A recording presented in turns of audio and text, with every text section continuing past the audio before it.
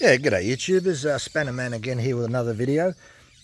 Today we're going to talk about basic hand filing uh, for those there that have maybe just got a chainsaw and not too familiar. So I don't want to get into too many technical terms, maybe getting towards the end of the video I might, but in the beginning I'll try and keep it as simple as possible. So let's say that you've gone out and got yourself a chainsaw and you've got most likely a 3.8 low profile or a standard 3.8. Of course, there's other sizes, your 0.325 and for your larger saws, your 404. Anyway, you're decided that you're going to file them yourself, which is usually the way most beginners start off. They get a chainsaw, they go out and get a file and they start filing them. Now, your chainsaw manual won't go into any detail about how to sharpen it up some people take the chains down to the local shop and get them sharp for about $10, uh, or you can attempt to do it yourself. So hopefully the information that I give you will put you on the right track. Now, probably one of the easiest ways to file a chainsaw is that you mount the chainsaw in a vise. If you don't have a vise, uh, you, you can actually put it on a table. You can get a chain vise, uh, stump vise they call it, and it's just a little bit of a uh, clamp and it's got little points on the bottom and it goes into a bit of bottom of wood. But you could always rig something up. You could always achieve the same sort of thing with a small type of G-clamp. Uh, you just got to stop it from skating around uh, on the bottom, that's all. But either way, you need to be able to keep your chainsaw fixed into something. You don't want it uh, jumping around while you're filing. There's nothing worse than uh, than everything moving. That's why I made this particular clamping system here. And if you just zoom out a little bit, you'll notice that it's all made out of stainless steel and it's got three bolts up the top. So I can either bolt, I like to have it bolted. Everything's fairly tight. Uh, I can loosen these off and have it loose. So it depends uh, which way I want to do it. So we'll assume that you've got a 3/8 chain, whether it's low profile, uh, normally uh, by the time you get to about a 50cc saw, you've got 3/8 standard chain. So generally anything below 50 cc's will have 3/8 low profile on it. That's fairly generic. 3/8 chain is the most common chain worldwide. So uh, yeah, you've got 0.325, which they use them on a lot of the pro saws. And you've got quarter inch chain, which is even, you know, for real small saws. Uh, and your 404, which is for your very large saws, you know, uh, 80 cc's and above. Okay, now the thing that you have to file is the main primary angle. There are two angles that you'll only ever really need to worry about. The primary angle is the top plate angle. That's the one that you need to worry about. And that one there is this angle on top here when we view the top of the tooth. That is set at 30 degrees. 99% of chains that you will use will be set at 30 degrees. That, why? Because they've tried all other angles and this is the most durable. This is a full chisel chain. It's got a very sharp point on it. A little bit different than the semi-chisel. So what we refer to as the primary angle is this one here. As I said, top plate angle 30 degrees. Secondary angle is the angle that the file uh, will leave, which is roughly 60 degrees, or if we're using a uh, grinder, we can set that at 60 degrees, or it's set at 60 degrees on the cheaper ones. So how do we get a 60 degree angle using a file that's round? Well, quite simply, if your file sits 20 degrees above, oh, sorry, 20 uh, percent above the tooth, uh, you will find out that that 60 degree angle will be made, provided you do that. If your file is too low, you'll start filing down the bottom here. You can see I've just touched that. If we zoomed in, if we zoom in there, you can see that I've just touched that with a file. Look, that, that happens. That's uh, nothing to really worry about. So therefore, the other thing comes into mind. If 3.8 low profile and 3.8 standard are the two most common sizes out there, what file sizes uh, do we use for each? Well, for your standard 3.8 low profile, we use a 4 millimeter uh, file, which is a 532. And for a 3/8 standard chain still recommend 5.2 millimeter. Some of the other manufacturers of other chains recommend uh, 5.5 millimeter. So 5.5 millimeter is uh, 732 file. So we're going to use a uh, a 5.2 uh, millimeter file. The other thing that can be done is that when you've got a brand new chain, you'll notice that the height of the tooth varies. So when we look at a tooth like this and we put a straight edge on top, you'll notice that the tooth slopes backwards for clearance. So the tooth gets a little bit smaller as we get down here. So therefore, what some people do, they start off with a 732 file or a 5.5 millimeter file. When they get about halfway down, they'll switch over to a 5.2 millimeter file. That's entirely up to you. I'm only saying what a lot of people do, uh, but still recommend a 5.2 millimeter file for a standard 3/8 chain and a 4 millimeter file for a 3/8 low profile chain. If you're not sure what chain you got, maybe somebody gave you a chainsaw, you were inherited a chainsaw or whatever, take it down to your local shop. Just say to the guy, look, I needed some files, and you'll probably want a depth gauge as well. Now, we'll get into depth gauges after this. But what we'll do now is proceed to file this. So we've talked about the uh, primary angle, which is 30 degrees, and the secondary angle, which is 60 degrees. So for this tutorial, what we're going to do is just file. Now, there's two positions that you can file. You can keep your file like this and stand behind your file. I prefer not to stand behind any file. I prefer to stand to the about oh 300 mil a foot away so I'll stand behind here and I'll reach forwards so that I've got really good clear view. Now on a semi-chisel chain, you will hold your file as horizontal as possible. That's the filing position. No 10, 10 degrees downward tilt. That's on full chisel. We'll get to that in a minute. And you've got your 30 degrees. So you must keep that 30 degrees. On just about every uh, chain that you buy, you'll see a little etched mark at the back of the tooth. That generally is your witness mark, but it also shows you the degrees roughly of what the tooth is angled at, the primary angle. So place it horizontal and keep it as good within the 30 degrees as possible. And proceed, I have my thumb and my forefinger in my left hand and in my right hand I have the handle and it's just a gradual forward motion. Then I swap hands over to the next one, same thing. Swap again. Now, a lot of people don't swap hands. What they do, they file the left tooth and then they'll file the right tooth. One of the reasons I like to file this way is that I get in the groove and that means that I get a rhythm and I'll be filing the same amount of pressure on the right hand as well as the left hand. Oh, I slipped then. That happens sometimes. You can uh, just slip. So, once you get in the groove, you'll be pretty well right. You'll be filing pretty good. Practice makes perfect. Now, I'm going a little bit fast, so maybe I could slow down a little bit so that you when you hold the file here, you need to make sure that it's 20% above. So you're going to ask me, how do I know I'm 20% above? It's a bit of a guessing game.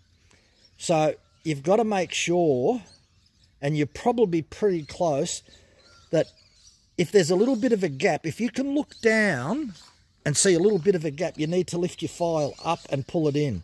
So go forwards and pull it in and lift it up you'll actually see if there's any gap there, you'll, the file as it removes metal will close that gap. So you'll know that you're, you're doing it correctly.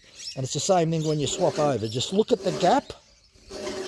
And if you, if you still see a gap, lift your file up and pull it in a bit. You may have to do a six or seven strokes. So that's what you need to do as you remove metal.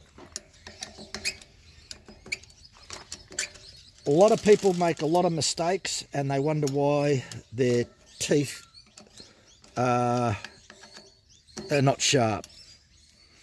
So we'll just go over that one more time and then we'll move on. File up against the tooth.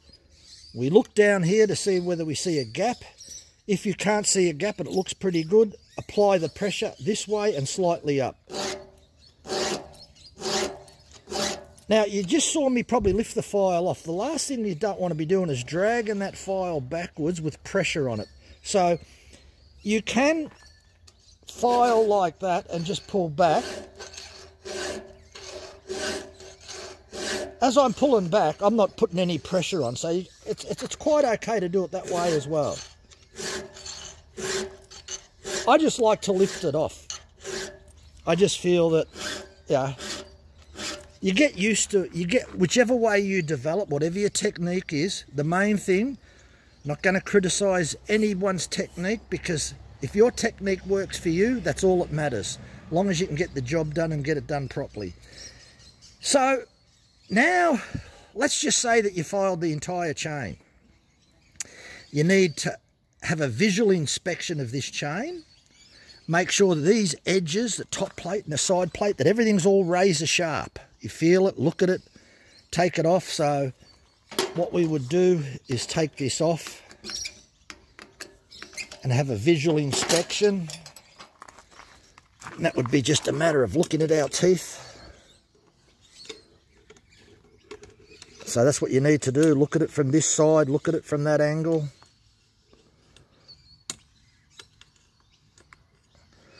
And then if you say, oh, this one, this one doesn't look very good, you might decide to give it, put it back on. So, and you might give it an extra two strokes a tooth if you want to. It's up to you how you do it.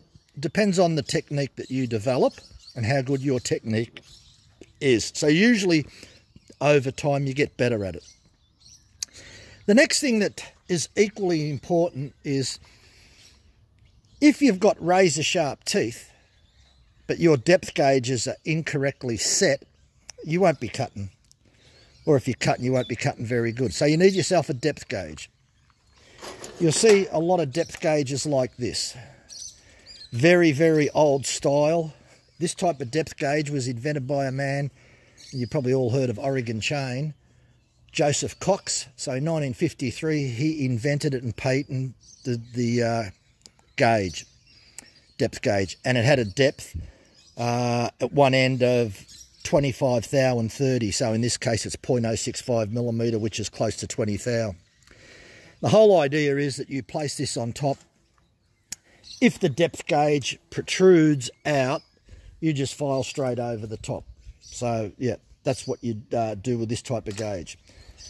The only problem with this type of gauge is that once you get down to about halfway down, you really need to be starting to take about 0.9 of a millimetre off, you know, around, around 0.8, 0.9.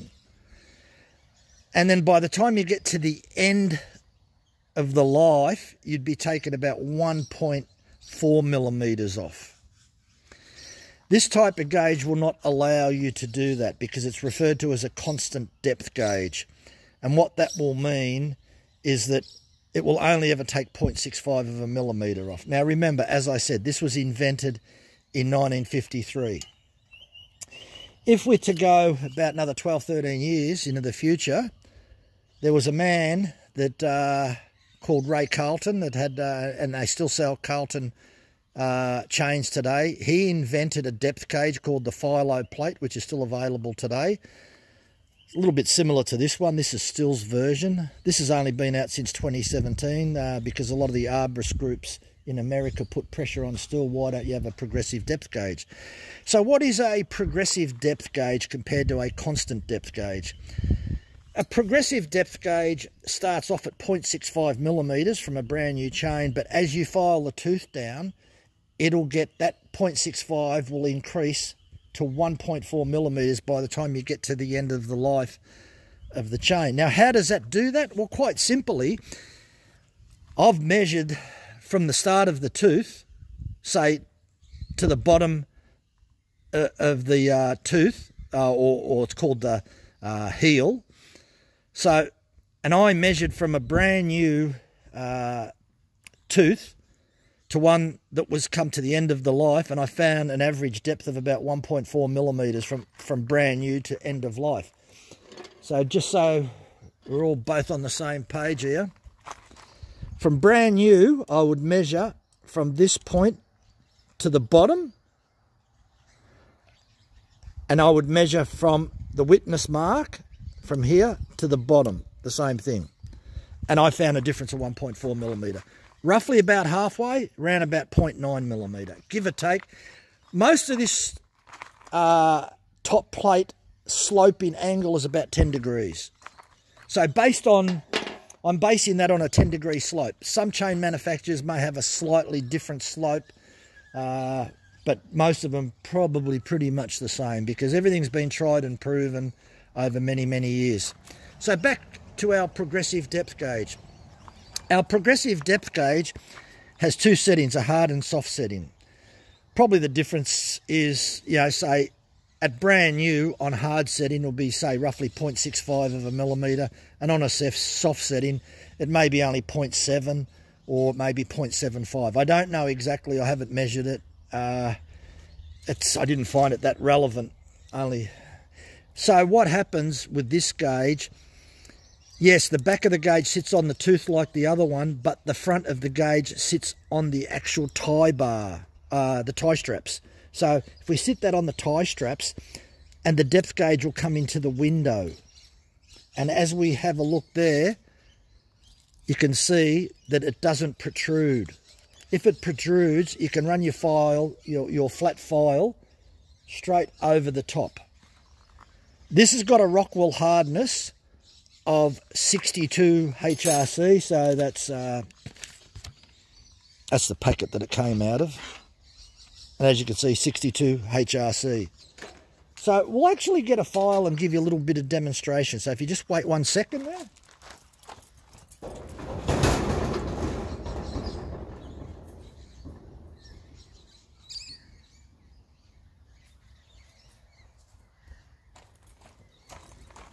Right, back again. Sorry about that. I had to go get a file. Okay, so we'll use this gauge and it's just a matter of putting it on top and filing. Put it on top. Took a little bit off that one. A little bit off that one. You can actually get good speed up on these.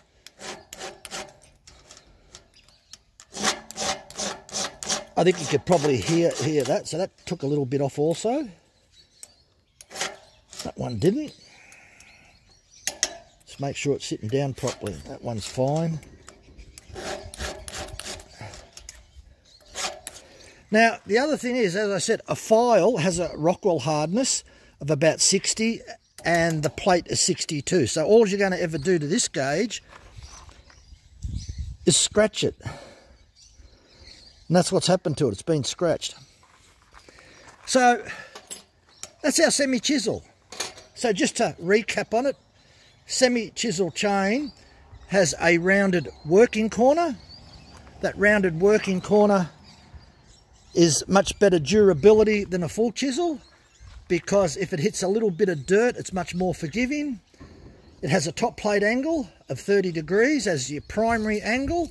Your secondary angle is 60 degrees. That is generated generally by a file. If the file is held 20% above, the highest point of the tooth and you try and keep the teeth as even as possible on both sides because if the teeth, if everything goes all haywire, you'll be cutting crooked. Also, if you're got too much slop in your bar and you've got an old chain and the chain's leaning to one side while it's cutting, it can cut crooked as well. So you can have bar and chain issues uh, and you'll see many people on the forums say, I'm cutting crooked. What normally eliminates that is that the depth gauges are matched to each individual tooth. So in other words, if this one's slightly shorter than that one, the tooth I'm talking about, so this tooth is slightly shorter than that one, means that the depth on this will need to be uh, lower than that one.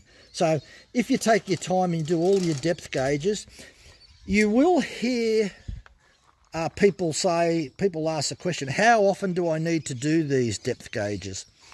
Well, I've got five or six chainsaws. Yeah, I've got battery ones, pole saws, hand cutters, you name it. I've, I've got quite a lot. I can't remember. And I've got box. Yeah, when I buy chain, I buy it in 100 uh, foot rolls. So I make up the loops myself. So yeah, I generally only keep about four or five uh, loops for each chainsaw. I can't remember when I checked the last one. So if I pick up a chainsaw and go to use it and uh, and I've got to resharpen it, I can't remember when I checked the depth gauges last. So automatically, when I sharpen a chain, whether it's on a grinder or whether it's by file, out comes the depth gauge. Now, if I'm running the depth gauge over them and I'm not filing anything off after the first five or six, then I could pro probably be pretty safe that that's doesn't need any further maintenance. So that's what I would normally do. So let's uh, briefly talk about the full chisel chain and then we can maybe wrap up. So for those, this is brand new piece of uh, chain that I've got here. I've just uh, taken this off a roll and we'll just try and show you the profile. So look at that profile, it's got a very, very sharp little hook on it at 60 degrees and then it changes. So this was this is the brand new one. Now I ground this. This has been done on a grinder and that was done without 10 degrees downward tilt and the next tooth was done with 10 degrees downward tilt. And if you say what's the difference, you'll find out that the curvature, this one has more curve in it, or hook as, as what we refer to, and this has less hook. Why do you want less hook? If you have less hook, the point will be much stronger. The more hook you got, the more pointy it is, the more damage that can happen. So this is where you use the 10 degrees downward tilt. So if we were going to do this chain with a file and we are going to do a 10 degrees downward tilt, we are going to drop our file about 10 degrees as we file on all the left or the right. So in this situation, if we were going to do this tooth, we would drop it down like that. What does that do? The 10 degrees downward tilt puts a compounded bevel on there. And we spoke before what a compounded bevel was. It's two angles on the same uh, tooth. But it actually reduces it. If we're saying 30 degrees, full chisel chain, this is 25 degrees. It doesn't have to be as aggressive.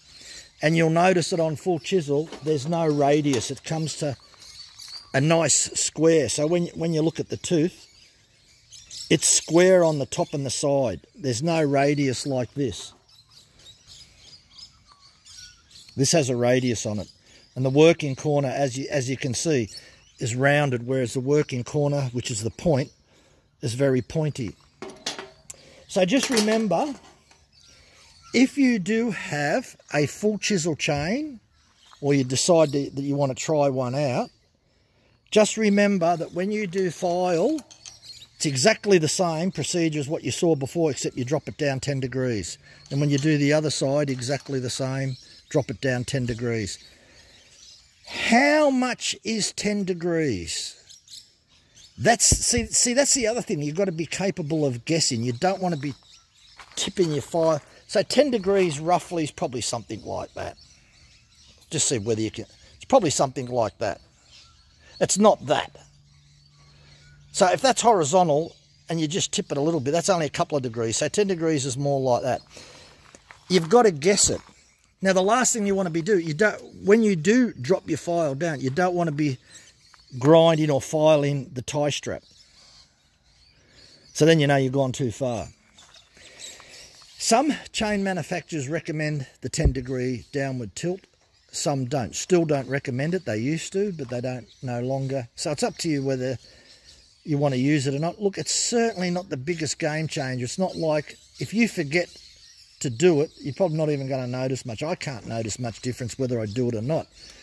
If you had two brand new chainsaws the same size and you had a uh, full chisel chain on each one, one had 10 degrees tilt, one didn't, I couldn't tell you the difference between one.